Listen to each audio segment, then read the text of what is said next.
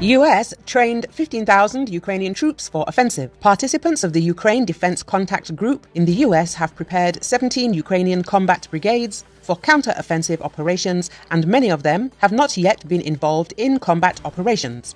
General Mark Milley, chairman of the Joint Chiefs of Staff of the US Army, said this. As Milley noted, Ukraine continues its counter-offensive steadily and decisively, boldly going into cruel and bloody battles for the return of its native land. The offensive will be slow, difficult, and will come at a high price. During this battle, which continues, the Ukrainians are fighting through dense minefields and obstacles, while a significant reserve of Ukrainian forces is waiting to participate in the fighting at the time and place that Ukraine will determine, he added. The American top general stressed that the Ukraine Defense Contact Group deals not only with agreements on the supply of equipment, but also with the training of the Ukrainian military.